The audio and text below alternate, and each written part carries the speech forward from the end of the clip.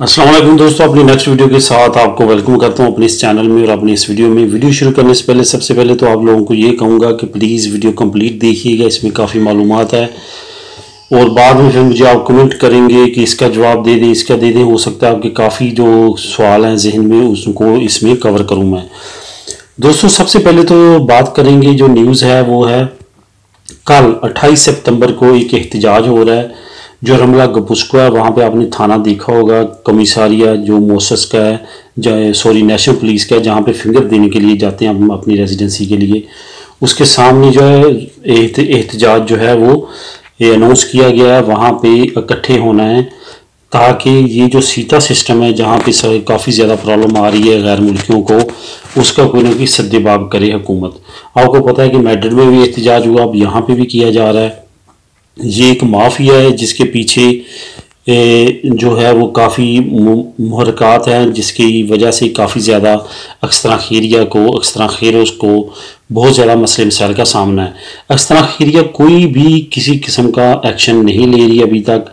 हालाँकि उनको सारा पता है, काफ़ी देर से ये मसला चल रहा है। कोई भी किसी तरह का भी इंटीरियर मिनिस्ट्री हो अक्सरा खीरिया हो किसी ने भी कोई भी इसका सदेबाव अभी तक नहीं किया। इस वजह से एहतजाज काल दी गई है। कोशिश करें वहाँ पे इकट्ठा होने की ताकि ज़्यादा ज़्यादा जो है वो प्रेशर क्रिएट हो गवर्नमेंट पे।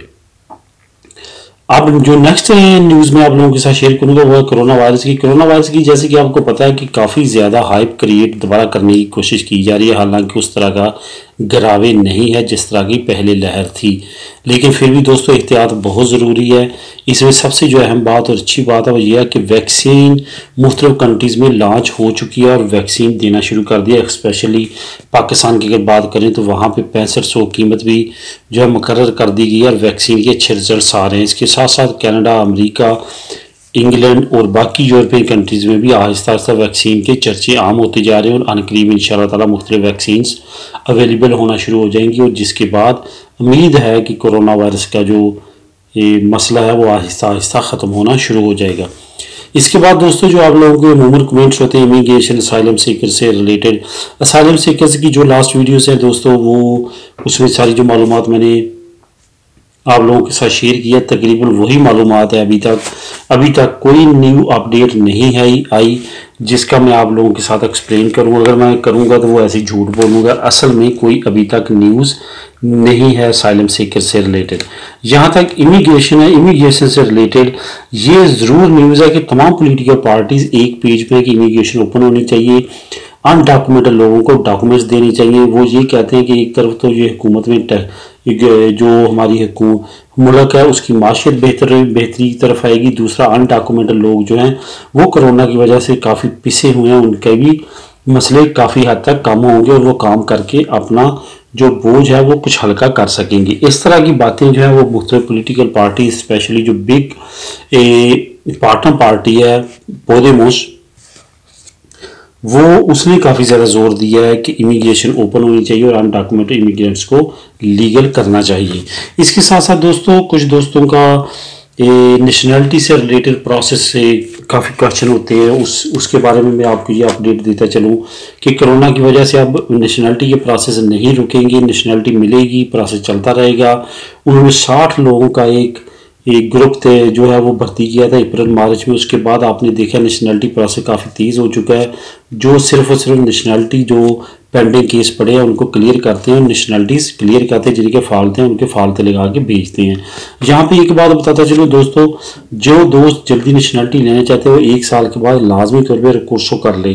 जिन जिन दोस्तों की नेशनलिटियाँ जल्दी निकल आएँगी, जिनसे पूछेंगे आप, उनकी यही वजह बनी कि उन्होंने रिकोर्सो की है।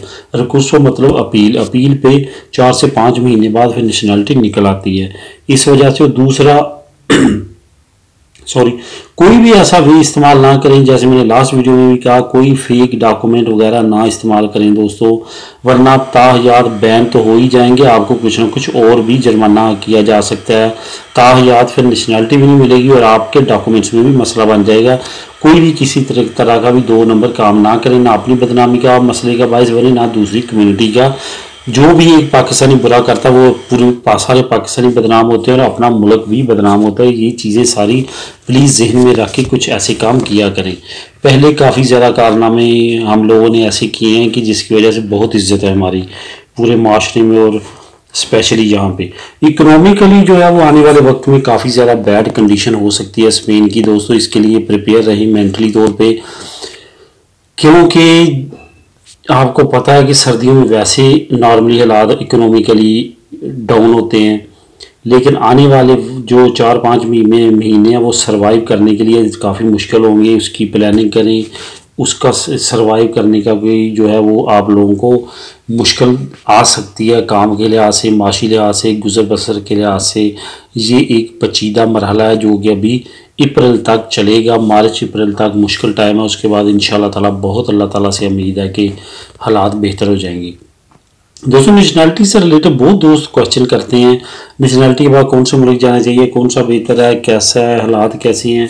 मैंने सोचा आगे चल के इन ताला इस पर वीडियोस बनाऊँगा, काफ़ी मालूम है मेरे पास। वो शेयर करूँगा, इंग्लैंड में क्या है, दूसरे स्कैंडिनेवियंस दूसरी यूरोपियन कंट्रीज़ में क्या क्या अपॉर्चुनिटीज़ क्या क्या फ़ायदे हमारे लिए, किस कंट्री में कौन सा फ़ायदा है, कहाँ पे बच्चों का फ्यूचर ज़्यादा ब्राइट है, ये सारी चीज़ें मैं इन ताला आने वाली वीडियोज़ में आप लोगों के साथ शेयर करूँगा। ये थी न्यूज़ दोस्तों।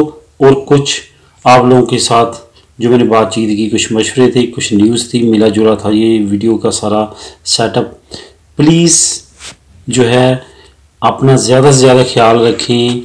अपने एक भी फ़र्द को खुदा ना खास्ता अगर भी मेडिकली मसला बनता है, ये जो दौर तो वो आपको पता है पूरी फैमिली को बनने का ख़तरा होता है।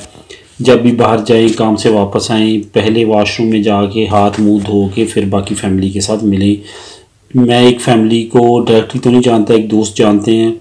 नौ अफराद संता कलोमा में रहते हैं वो। नौ के नौ अफराद को कोरोना वायरस है। बेशक वो अल्लाह माफ़ करे कि ख़तरनाक कंडीशन में नहीं है, लेकिन हो चुका है उनको। तो वो यही था कि पहले वाल साहब काम वाली जगह से ले के बाकी भी बच्चों को, बीवी को, सबको हुआ। फिर इस वजह से एहतियात करें, पहले घर जब आते हैं वॉशरूम में जाके हाथ मुँह गर्म पानी से धो के फिर बच्चों से कोशिश किया करें मिलने की। मिलते हैं अपनी नेक्स्ट वीडियो में। तब तक के लिए अल्लाह हाफिज़।